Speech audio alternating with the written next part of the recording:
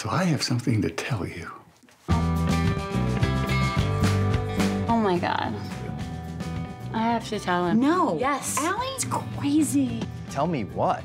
Dad is a woman. Does mom know? Of course I know that. You think I'm a dummy? It's his thing. It's his little private kink.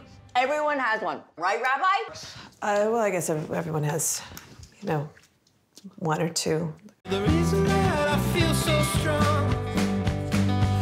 Three kids. I can't live without my kids. You know you gave me all. Sarah's my oldest. I was thinking about inviting Tammy and Grace over for a play date. Does Len know that you spent your entire college years lesing it up together? I like lesbians. There's Joshy. Okay, back, back, back, back, back. He's my very successful son. Always a different girlfriend. Where are you going? Let's just hang out.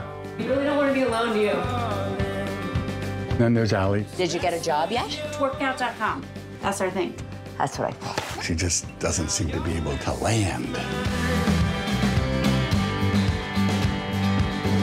People live secret lives, and people live very lonely lives. Life is complicated.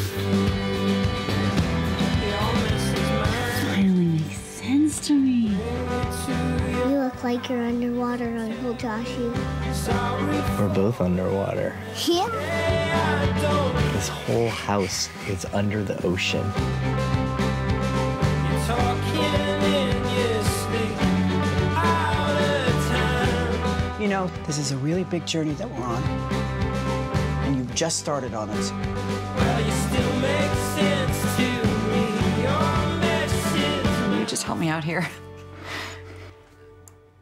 Are you are you saying that you're going to start dressing up like a lady all the time?